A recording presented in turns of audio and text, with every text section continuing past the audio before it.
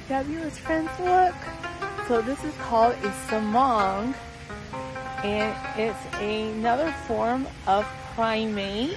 Oh, look how cute. It's just moving around.